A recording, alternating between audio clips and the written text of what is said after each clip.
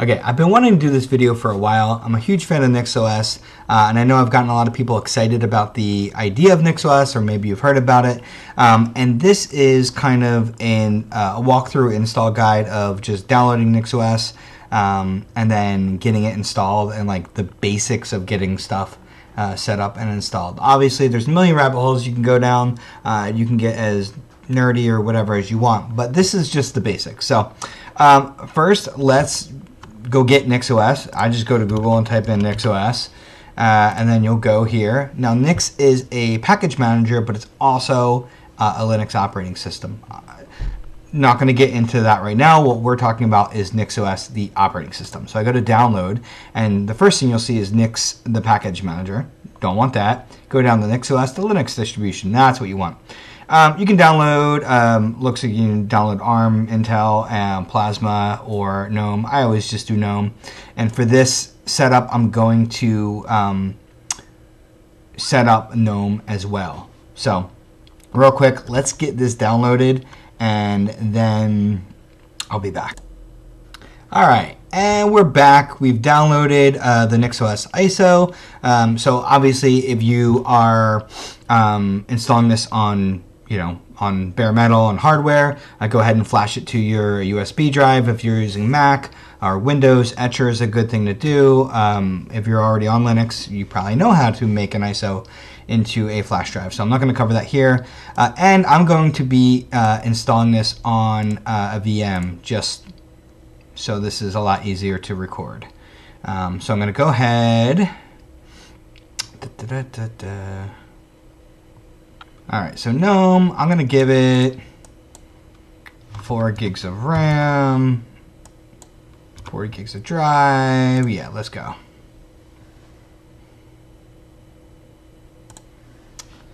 All right. And when you boot it up, you just want to go to the base installer. Um, again, in case you need, unless you need any kind of special, you know, boot parameters. But in most cases, bada, bada bing, here you go um, and you will be uh, all set up in GNOME here. Um, if you're on a laptop, you will have to connect to the internet because I'm on a VM. Obviously, this is already wired in and it's ready to go. Um, but yeah, connect to the network, Wi-Fi, whatever, whatever you need. Um, if your laptop, if you're using a Broadcom chip, like it won't be supported out of the box. Um, I actually really like these little Panda wireless things and you can whack it in there. The cool thing is if you have something with like a Broadcom uh, Wi-Fi chip, um, you need to like plug it in, like you need to get it installed first. Um, but if you have, if you install it, uh, NixOS I have found actually picks up the Broadcom. So on reboot, you won't need this. Um, so anyway, here we are. Uh, typical installer. I'm just going to go through, I set this up, keyboard, basic stuff, user, user, Keep this real simple. Same for admin. Now here's where you can choose um, your desktop environment. Again, you can go with no desktop and build your own NixOS. If you like building your own system up from Arch, um, no desktop is the way to go. This is what I do uh, these days because I have my config files all set up. But for first time uh, going around, I'm just going to do GNOME here. But again, you could do whatever you like here. Uh, so GNOME, and you can switch it later. And I'm serious, you really can. So allow unfree software. Obviously, if, if you want to, you can read this stuff. If, if you want to go hardcore and do only super free software and the licenses matter a whole bunch to you, then you know you can decide what to do. I always do allow unfree. Um, I'm just going to erase disk, swap no hibernate, do whatever you need to here. This is if you've installed Linux before. Um, all this is none of this is new. If you haven't installed Linux before, um, you know, yeah, you know, I, I, would just go with swap, no hibernate. Uh, hibernate's not really something um, I've ever really needed, uh, but swap is always good to have. And I'll show you what it's going to do. Say, okay, hey, yeah, this looks good. Install. Okay, so it's going to partition your drive. Uh, and then it's going to go ahead and go out to the internet and like download all these packages. Again, this is very uh, Arch Linux like if um, only with a very pretty installer. But it actually builds the system for us right now. So um, you'll notice that the installer looks like it gets stuck here at 46% and like never goes anywhere. If you toggle the log, you'll see why. Uh, at 46%, that's when it's actually downloading all the stuff from the internet, which like is the longest part of it. Um, so it will go ahead and it will look like it's taking uh, forever. But again, it's it's moving. So you basically just have to like leave it at 46%, uh, let it do its thing, uh, and you know, go get a cup of coffee or something like that. It doesn't take too long, depending on the speed of your computer and depending on, um, uh, you know, depending on your internet speed. So I'm gonna pause it right now because nobody wants to watch this. So I'm gonna pause it and I'll unpause once this thing's ready to go again. All right, well, uh, that was fast. So now we are all done. And um, yeah, that's pretty much it. I'm just gonna check restart now and let's reboot into the system.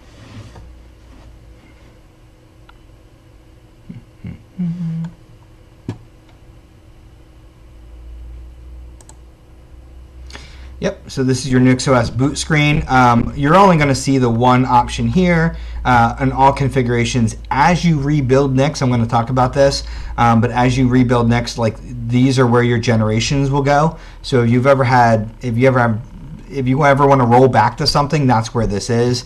Um, but by default, the first option is always the newest one. That's what you're going to want. And if you don't touch anything, you'll automatically boot into it as well. So let's boot it up. And you'll see good old GNOME screen. All right, skip the tour. Uh, and that's pretty much it. So uh, you'll see that NixOS is installed.